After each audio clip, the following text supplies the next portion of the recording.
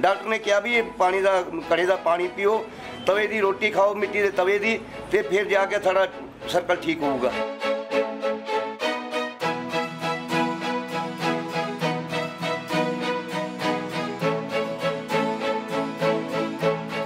ਜਿਸ ਮਿੱਟੀ ਦਾ ਤੂੰ ਘੜਿਆ ਏ, ਅਸੀਂ ਵੀ ਉਸ ਮਿੱਟੀ ਦੇ ਹਾਸੇ, ਜਾਂ ਫਿਰ ਘੜਾ ਵੱਜਦਾ, ਘੜੋਲੀ ਵੱਜਦੀ, ਕਿਤੇ ਗਾਗਰ ਵੱਜਦੀ, ਸੁਣ ਮੁੰਡਿਆ।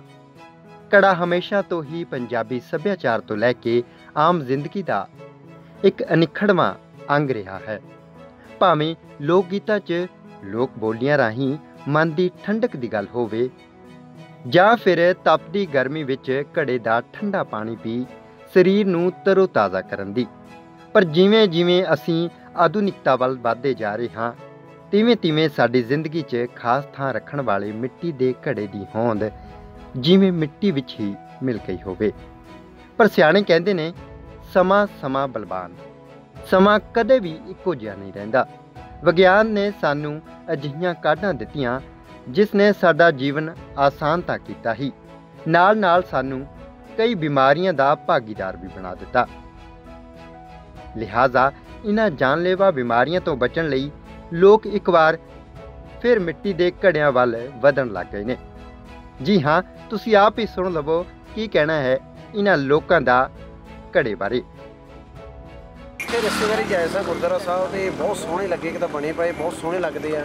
ਫਿਰ ਇਹਨਾਂ ਦਾ ਪਾਣੀ ਪੀਣ ਦੇ ਵਿੱਚ ਫਾਇਦੇਮੰਦ ਹੈ। ਇਸੇ ਲਈ ਫਿਰ ਅੱਜ ਘੜਾ ਪੀ ਕੇ ਮਿਲਦਾ ਪਾਣੀ ਇੱਕ ਦਿਨ ਦੇ ਵਿੱਚ ਵਿਟਾਮਿਨ ਸਹੀ ਰਹਿੰਦੇ ਆ। ਜਿਹੜੇ ਆਰੋ ਦੇ ਵਿੱਚ ਚੀਜ਼ਾਂ ਬਾਹਰ ਨਿਕਲ ਜਾਂਦੀਆਂ ਇਹਦੇ ਵਿੱਚੋਂ ਬਾਹਰ ਨਹੀਂ ਨਿਕਲਦਾ। ਇਹ ਬਿਲਕੁਲ ਸਹੀ ਚੀਜ਼ ਹੈ ਤਾਂ ਇਹ ਸਾਰੇ ਵੀਰ ਭਰਾਵਾਂ ਨੂੰ ਇਸ ਘੜੇ ਦਾ ਪਾਣੀ, ਗਰਮੀ ਦੇ ਫ੍ਰਿਜ ਦਾ ਪਾਣੀ ਪੀਣ ਨਾਲੋਂ ਇਹਦੇ ਵਿੱਚ ਪਾਣੀ ਰੱਖ ਕੇ ਪੀਓ ਤੇ ਬਹੁਤ ਹੀ ਵਧੀਆ ਰਹੇਗਾ। ਬਾਬਾ ਜੀ, ਇਹਦਾ ਬਿਮਾਰੀ ਦਾ ਰੋਗ ਦੂਰ ਹੁੰਦਾ।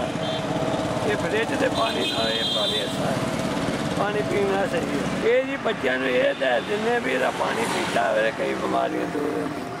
ਇਹ ਜੀ, ਇਹ ਤੰਦੂਰ ਦੀ ਰੋਟੀ ਜਿਹੜੀ ਅਸੀਂ ਖਾਣ ਚ ਵਧੀਆ। ਠੀਕ ਹੈ ਅਸੀਂ ਇਹ ਆਨੇ ਵੀ ਇਹ ਤੰਦੂਰ ਦੀ ਰੋਟੀ ਹੈ ਘੜੇ ਦਾ ਪਾਣੀ ਇਹ ਠੀਕ ਹੈ ਜੀ। ਇਹ ਕਈ ਬਿਮਾਰੀਆਂ ਕਰਦਾ। ਤਸਵੀਰਾਂ ਤਰਨ ਤਾਰਨ ਦੀਆਂ ਨੇ। ਜਿੱਥੇ ਗਰਮੀਆਂ ਸ਼ੁਰੂ ਹੁੰਦਿਆਂ ਹੀ ਇਹਨਾਂ ਘੜਿਆਂ ਦੀ ਮੰਗ ਵਧਣੀ ਵੀ ਸ਼ੁਰੂ ਹੋ ਗਈ ਹੈ। ਦੂਰੋਂ ਦੂਰੋਂ ਲੋਕ ਇਹਨਾਂ ਘੜਿਆਂ ਅਤੇ ਹੋਰ ਮਿੱਟੀ ਦੇ ਬਰਤਨਾਂ ਨੂੰ ਲੈਣ ਲਈ ਇਹਨਾਂ ਕਾਰੀਗਰਾਂ ਤੱਕ ਪਹੁੰਚ ਕਰ ਰਹੇ ਨੇ। ਅਤੇ ਇਹਨਾਂ ਘੜਿਆਂ ਤੋਂ ਇਹ ਦੁਕਾਨਦਾਰ ਖਾਸੀ ਕਮਾਈ ਵੀ ਕਰ ਰਹੇ ਨੇ। ਉਦੋਂ ਜਿਹੜਾ ਮਿੱਟੀ ਦੇ ਭਾਂਡੇ ਵੱਲ ਕੋਈ ਧਿਆਨ ਨਹੀਂ ਦਿੰਦਾ ਸੀ। ਹੁਣ ਜਦੋਂ ਬਿਮਾਰੀਆਂ ਇੰਨੀਆਂ ਨੇੜੇ ਆ ਰਹੀਆਂ ਆ, ਜਦੋਂ ਡਾਕਟਰ ਕਹਿੰਦਾ ਆ ਵੀ ਤੁਸੀਂ ਆ, ਇਹ ਤਵੇ ਦੀ ਰੋਟੀ ਖਾਓ, ਘੜੇ ਦਾ ਪਾਣੀ ਪੀਓ ਫਿਰ ਉਹਨਾਂ ਕਰਕੇ ਫਿਰ ਸਾਡੇ ਕੋਲ ਕਸਟਮਰ ਜਿਹੜਾ ਉਹ ਸਿੱਧਾ ਆ ਰਿਹਾ ਆ। ਇਸ ਕਰਕੇ ਹੁਣ ਅਸੀਂ ਦੁਕਾਨਾਂ ਵੀ ਅਸੀਂ ਸੇਲ ਇੱਥੇ ਮਾਲ ਇੱਥੇ ਖੁਦ ਸੇਲ ਕਰ ਰਹੇ ਆ ਤੇ ਅੱਗੇ ਨਾਲੋਂ ਕੰਮ ਠੀਕ ਹੈ। ਹਿਮਾਚਲ ਯੂਪੀ ਰਾਜਸਥਾਨ, ਇੱਧਰਲੀ ਸਾਈਡ ਇੰਨੀ ਦੂਰ ਤੱਕ ਸਾਡਾ ਮਾਲ ਜਿਹੜਾ ਇੱਥੋਂ ਜਾ ਰਿਹਾ ਹੈ। ਉਹ ਤੋਂ ਜ਼ਿਆਦਾ ਵਿਕਰੀ ਹੈ ਰੈਬਰ ਤੇ ਟੂਟੀ ਵਾਲਾ ਕੜਾ। ਇਹ ਔਰ ਤਵੇ। ਇਹ ਚੀਜ਼ਾਂ ਜ਼ਿਆਦਾ ਵਿਕ ਰਹੀ ਹੈ ਹੁਣ।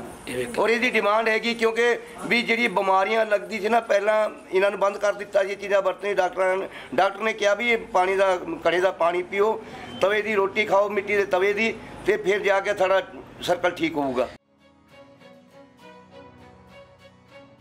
ਉਧਰ ਲੋਕਾਂ 'ਚ ਆਏ ਦਿਨ ਵੱਧ ਰਹੇ ਬਿਮਾਰੀਆਂ ਦੇ ਕਹਿਰ ਨੂੰ ਦੇਖਦਿਆਂ ਡਾਕਟਰ ਵੀ ਆਮ ਲੋਕਾਂ ਨੂੰ ਮਿੱਟੀ ਤੋਂ ਬਣੇ ਬਰਤਨਾਂ ਦੇ ਇਸਤੇਮਾਲ ਦੀ ਸਲਾਹ ਦੇ ਰਹੇ ਨੇ। ਨੈਚੁਰਲ ਚੀਜ਼ ਹੈ, ਜਿਹੜਾ ਸਸਤਾ ਆਰਾਮ ਨਾਲ ਅਵੇਲੇਬਲ ਹੈ ਤੇ ਇਹਦੇ ਵਿੱਚ ਜਿੰਨੇ ਸਾਡੇ ਸਰੀਰ ਨੂੰ ਜ਼ਰੂਰੀ ਤੱਤ ਚਾਹੀਦੇ ਹੁੰਦੇ ਆ ਉਹ ਸਾਰੇ ਇਹਦੇ ਵਿੱਚ ਅਵੇਲੇਬਲ ਹੋ ਜਾਂਦੇ ਆ ਕਿਤੇ ਇਹਨੂੰ ਜ਼ਿਆਦਾ ਬਿਜਲੀ ਦੀ ਜ਼ਰੂਰਤ ਵੀ ਨਹੀਂ ਪੈਂਦੀ ਹੈ ਠੰਡਾ ਕਰਨ ਦੀ ਜ਼ਰੂਰਤ ਨਹੀਂ, ਇਹ ਨੈਚੁਰਲ ਹੈ ਤੇ ਸਰੀਰ ਵਾਸਤੇ ਬਹੁਤ ਹੀ ਲਾਭਦਾਇਕ ਹੈ। ਲਾ- ਲਾਭਦਾਇਕ ਇਸ ਤਰ੍ਹਾਂ ਹੈ ਕਿ ਇਹ ਆਰਾਮ ਨਾਲ ਪੱਕ ਜਾਂਦਾ ਇਹਦੇ ਨਾਲ ਬਿਮਾਰੀਆਂ ਤੋਂ ਬਚਾ ਰਹਿੰਦਾ ਵਾ ਤੇ ਇਸ ਕਰਕੇ ਮਟਕੇ ਦਾ ਪਾਣੀ ਪ੍ਰੈਫਰ ਕਰਨਾ ਚਾਹੀਦਾ ਹੈ। ਬੇਸ਼ੱਕ ਸਮਾਂ ਬਦਲਣ ਨਾਲ ਮਿੱਟੀ ਦੇ ਇਹਨਾਂ ਘੜਿਆਂ ਦੇ ਰੂਪ ਵਿੱਚ ਵੀ ਬਦਲਾ ਗਿਆ ਹੈ ਅਤੇ ਇਹ ਘੜੇ ਟੁੱਟੀ ਵਾਲੇ ਰੈਬਰ, ਗੈਸ ਸਿਲੰਡਰ ਅਤੇ ਹੋਰ ਕਈ ਰੂਪਾਂ ਵਿੱਚ ਬਾਜ਼ਾਰਾਂ ਵਿੱਚ ਵਿਕ ਰਹੇ ਨੇ। ਪਰ ਅੱਜ ਵੀ ਘੜੇ ਦਾ ਪਾਣੀ ਉਨਾ ਹੀ ਠੰਡਾ, ਤਾਜ਼ਾ ਅਤੇ ਮਿੱਠਾ ਹੈ ਜਿੰਨਾ ਸਾਡੇ ਦਾਦੇ ਪੜਦਾਦਿਆਂ ਦੇ ਸਮੇਂ ਹੁੰਦਾ ਸੀ।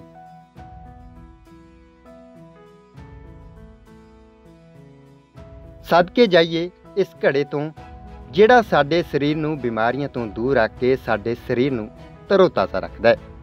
ਤਰਨਤਾਰਨ ਤੋਂ ਪਵਨ ਕੁਮਾਰ D5 ਚੈਨਲ ਪੰਜਾਬੀ।